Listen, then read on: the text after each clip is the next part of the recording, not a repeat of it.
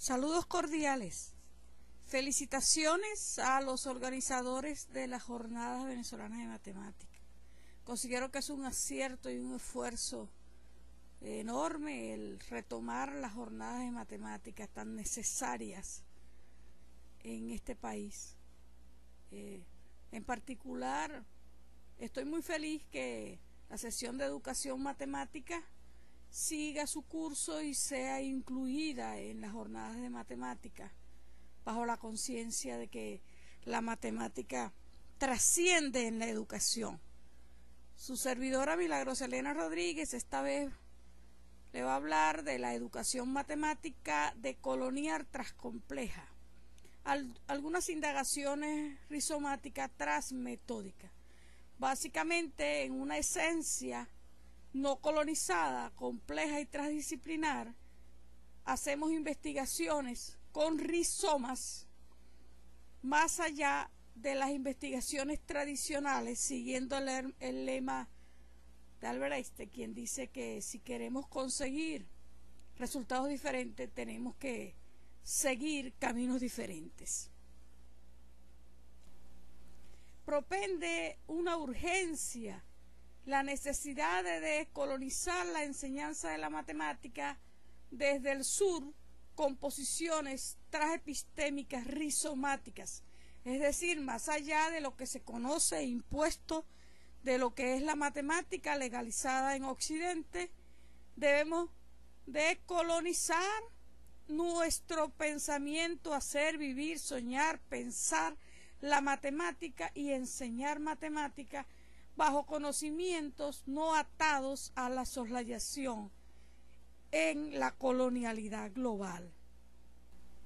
Por ello, como objetivo complejo, presentamos algunas perspectivas de la línea de investigación titulada Educación Matemática de Colonial Transcompleja. En primer lugar, lleva una, una misión, una misión de vida, un apostolado, que es desligarnos de las viejas prácticas colonizadas de la matemática en la enseñanza para religarnos a una matemática viva, enseñada con alma, mente, cuerpo y corazón. Para eso hay que atender una perspectiva compleja de lo que es el ser humano. ¿Cuáles son las aristas del ser humano profundamente imbricadas para poder entender cómo aprende y cuál es su misión de vida? El ser humano es naturaleza, cuerpo, alma, mente, espíritu y Dios. Y debemos de desmitificar el hecho de que la ciencia ha querido tomar el lugar de Dios, la filosofía se ha separado de la ciencia, la filosofía se separa de la teología y el hombre ha querido entonces ser Dios y ahora ya la ciencia no ocupa el lugar de Dios. Quien quiere ocupar el lugar de Dios ilusamente son los que dirigen la colonialidad global y son los que dictan el precepto de cómo hacer educación matemática, entre otros preceptos del mundo.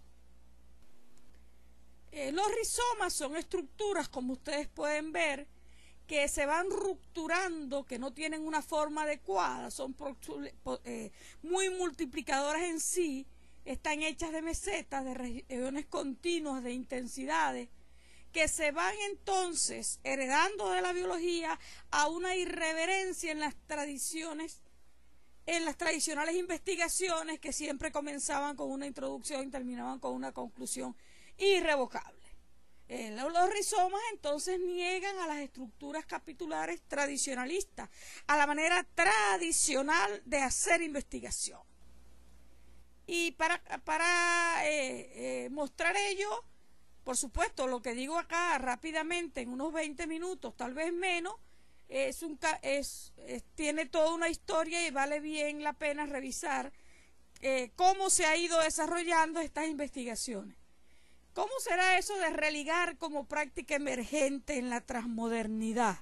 Debemos de saber que la transmodernidad es un proyecto que lleva como, como misión de vida develar lo encubierto de la modernidad y entre ellos la educación matemática y la matemática. Hay una crisis determinista, colonial y disciplinar en la enseñanza de la matemática, con una disciplina separada de las otras en una colonialidad mecánica que ha atentado contra la condición humana en una metodología tradicional donde se separa abstracción de concreción, lo global de lo local, la teoría de la práctica, que son en ellas, son ellas topois que no, no tienen separabilidad, pero que se han separado a conveniencia de lo impuesto. Y nos hemos concebido que de la manera como nos enseñaron matemática, de esa manera irrevocable debemos enseñar. Entonces la colonialidad en la enseñanza de la matemática de Ambrosio, eh, es gran aportador y creador de la etnomatemática, lo dice claramente en cada una de sus publicaciones que la ciencia matemática ha sido colonizada en el aula y que no es parcela de Occidente ni de nadie y que es un derecho de inclusión de todos, inclusión de todos. Por lo tanto, educar debe partir del precepto de que todos pueden aprender matemáticas. Tal vez no todos quieran ser matemáticos, pero todos pueden aprender matemáticas. En esas dimensiones de denominación colonial de la enseñanza de la matemática, Solano habla del antropocentrismo, logocentrismo, epistemocentrismo, falocentrismo, y todo ello se puede resumir eh, rápidamente. Una matemática impuesta y legalizada por Occidente, hay un centro y una manera de enseñarla. Eh, se ha vencido mucho la barrera de que solo los hombres podían ser matemáticos y toda una historia con las mujeres matemáticos y todavía se sigue clasificando a las personas posibles de aprender matemática. Y tenemos que ser conscientes y hacernos un autoanálisis cuando usted llega al aula, no siempre va pensando que todos ellos le van a poder aprobar, van a poder aprender. En esa mirada compleja, es decir, compleja y, y transdisciplinar, hay una cosmovisión y un modo de investigarse no se reduce el objeto de estudio y se va más allá de ese modelo impuesto, individualista, egoísta, y más allá de esas políticas hegemónicas. Por eso entonces, religar es una emergencia de ese pensamiento transmoderno que tiene eh, como misión la de colonialidad planetaria. O sea que nosotros en la educación matemática y por lo tanto en la matemática, desde luego, debemos de construir viejos paradigmas cimentados en formaciones tradicionalistas que nos incitan a formarnos desde la reforma del pensamiento, es decir, que nos lleven a deconstruir, a criticar, y porque es muy fácil criticar, pero certero es transformar, certero es creer en el otro, certero es aceptar nuestras propias deficiencias. Esos pisos epistémicos en la forma de pensar que se han venido llevando a la educación van desde el positivismo con predecir, fenomenológico, sociocrítico, complejo, y desde luego e, esa complejidad con la transdisciplinaridad nos lleva a una deconstrucción educativa, hay muchas emergentes religantes, de Juan González, por ejemplo, y él habla de un aula mente social, pero yo lo trasciendo al aula mente social espíritu. ¿Por qué? Porque atiendo a la, a la, a la forma de dónde está alojada la razón. Y los filósofos presocráticos lo decían claramente, está alojada en la mente, en el alma y en el espíritu. Nos hemos olvidado de la esencia más importante del ser humano, que es la esencia espiritual, porque es la esencia, es la energía que no muere. En esos religajes en la educación matemática, entonces podemos hablar de, eh, del arte de habitar en el planeta, de la diatopía. Nos, nos vamos entonces en categorías como condición humana que, que, no tenían nada que ver antiguamente con lo que era el viejo ejercicio de educar en matemáticas. Por ello entonces eh, eh, es ahora posible la interacción, relacionamiento, la colaboración, la desunión de los conocimientos eh, desligarse del viejo patrón y en este artículo de la revista Orinoco Pensamiento y Praxis hay algunos resultados sobre eso. Debemos religar porque religar saberes implica resignificar para reinventar. Y en estos emergentes religantes, entonces, en la complejidad junto con, con los rizomas y la decolonialidad planetaria hace un, una amalgama especial donde podemos entonces entretejer, crear, considerar lo complejo, lo gramático, la dialogicidad, lo planetario en la educación matemática. una educación matemática no solo para absorber algunos algoritmos, que es importante, pero que no es la esencia compleja de la matemática. Por supuesto, entonces ahora desde ese sentido pudiéramos nosotros hablar de la solidaridad en la transmodernidad como una resistencia a las prácticas hegemónicas de la matemática. Y entonces allí podemos considerar la inclusión como estrategia, la dialogicidad, cohabitar con el conocimiento transdisciplinar, no solo la aplicación de la matemática, sino una matemática que atraviesa todos los conocimientos y porque en efecto es una manera y es una forma de pensar y es una forma de educar. Entonces estos emergentes religantes que van más allá de la tradicionalidad investigativa. Esta educación matemática de colonial va a rescatar y salvaguardar transversalmente los conocimientos de las matemáticas del sur y de todas las civilizaciones encubiertas porque es urgente aprender matemática desde el patrimonio histórico, que tiene un trasfondo dialógico y una matemática que trasciende las creaciones frías sin las eh, creaciones de las civilizaciones. Entonces, para lograr estas excelencias hay que investigar nuestra propia práctica, no hay recetas. Debemos de ir a una verdadera política educativa al servicio de los estudiantes, reconstruir las teorías de aplicabilidades nuestras, sobre todo desde los primeros niveles. Podemos aprender con mente, cuerpo y corazón. No basta con considerar solo sus conocimientos iniciales si en la mente del docente está la desmitificación de esos saberes y nos preguntamos con qué políticas del conocimiento queremos incluir a todos los estudiantes para que aprendan matemáticas. En el sistema de numeración maya, por ejemplo, eh, cuando vamos a esta excelencia de esta matemática, el número cero maya, que ha sido quitado de la historia y se le ha negado la invención a los mayas del número cero, eh, ellos tienen una representación maravillosa, excepcional de sus números. Y nosotros nos podemos preguntar, ¿por qué los números mayas en base 20 tienen, eh, crean números tan altos? ¿Por qué ellos necesitaban números de tan alta denominación? Resulta que cuando revisamos el patrimonio histórico de los mayas nos conseguimos que ellos eran vendedores de cacao, ellos intercambiaban con cifras muy altas. Y por eso entonces su maravilloso sistema numérico en base 20, que es tan maravilloso y no tiene nada que envidiarle al sistema numérico, por ejemplo, de los egipcios. Y esa cosmovisión de la representación del número cero es excepcional. Y bien vale la pena retomarlo y salvaguardarlo en el aula y de igual manera lo podemos hacer con nuestros aborígenes. Por ejemplo, eh, los guayú tienen una geometría muy hermosa en sus tejidos, en sus canazos. ¿A qué se debe? Todo ello debemos de preservarlo, salvaguardarlo en el aula.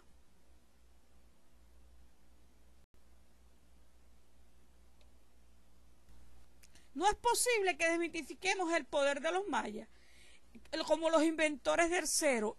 La matemática posee un valor educativo como pensamiento humano, como legado histórico de más de 2.600 años.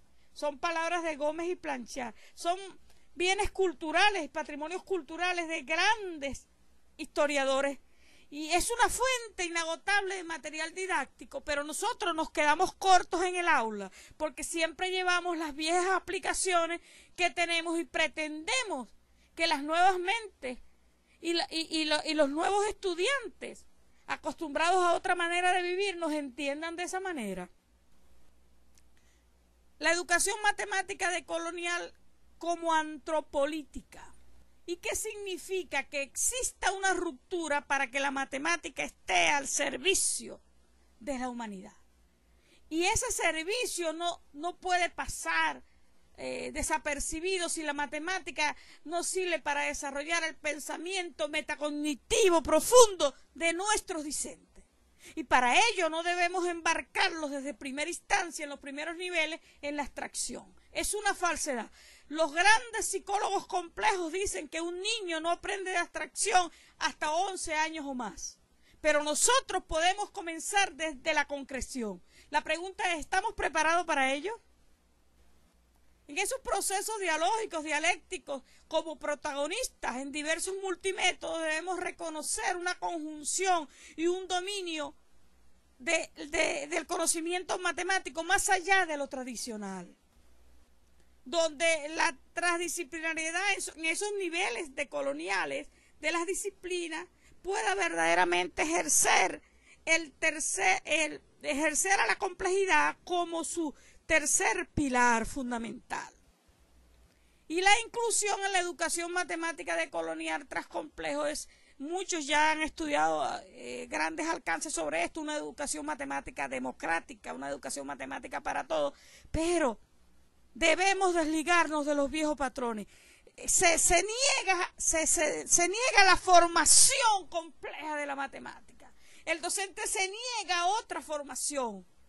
No suelta lo que cree dominar y, y tiene la matemática como un novio escondido que normalmente cuando usted tiene un novio que es escondido porque ese novio es casado, ese novio tiene problemas, hay algo de trasfondo de esto. Cuando usted secuestra la matemática solo para sus, sus mentes y unos dos o tres, usted no ama realmente la matemática. Usted usa la matemática como objeto de poder.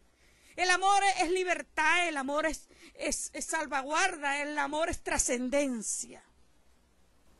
Entonces en esa transdisciplinaridad y transversalidad debemos ir a investigar desde la subjetividad, la comunidad, los actores. Esto no quita el nivel de abstracción de la matemática en cuando corresponde y en los niveles adecuados. No estamos diciendo que, que, el nivel de abstracción, que es por excelencia parte de la matemática, no va a ser dado, sino que hay que saber desde dónde y cómo hacerlo.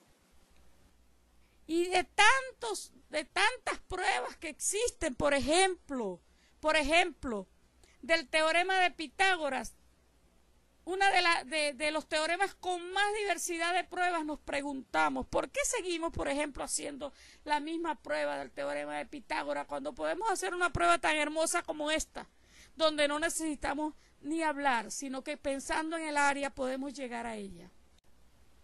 El currículo en la educación matemática y colonial transcompleja puede ser impuesto por las viejas políticas educativas coloniales, pero el docente siempre va a tomar la decisión en el aula de qué enseñar. ¿Y por qué no ir a la sabiduría de la matemática para evitar al planeta, el abrazo de los saberes científicos y soterrados, una matemática deselitizada y religada? la de colonialidad planetaria y la enseñanza, y muchas realidades hay que develarla, pero para eso hace falta formación, pero también hace falta buen corazón, hace falta saber el contacto del otro. Una persona que no pueda compartir, que no sepa compartir, no tiene las condiciones mínimas para enseñar. Una persona que no crea en el ser humano no tiene las condiciones mínimas para enseñar. Entonces, rompiendo las formas tradicionales hacia otras formas de coloniales de concebir el, conocimiento, vamos a prácticas libertarias de las nuevas pedagogías, en las nuevas pedagogías innovadoras donde hay mucho por decir. Y, debemos de dejar esa tensión que existe entre la matemática como ejercicio de poder, con un proceso allí ambivalente, para romper con el mandato de la cultura estática occidentalizada de enseñar matemáticas en el sur. Y por ello la formación continua de los docentes, estrategas con mente, cuerpo y corazón, que al final se vuelven oprimidos y aislados porque siempre están imponiendo la vieja matemática que va a soslayar y a decirte siempre en tu mente no puedes. Ese ejercicio es una, de una educación matemática ecosófica, es decir, que busca el arte de habitar en el planeta sin medidas de opresión y un abrazo en grupos considerados disímiles, porque atiende la diversidad. Es la construcción hacia una matemática en el diálogo, en comprender, en una perspectiva compleja de lo que es el ser humano, que siempre se va incitando a una transformación y a una metamorfosis. Y a ti, Jesucristo, que viniste a morir por nosotros, dedico todo lo que hago. Eres y siempre serás mi Señor, mi mayor ejemplo de perseverancia. Gracias a todos ustedes.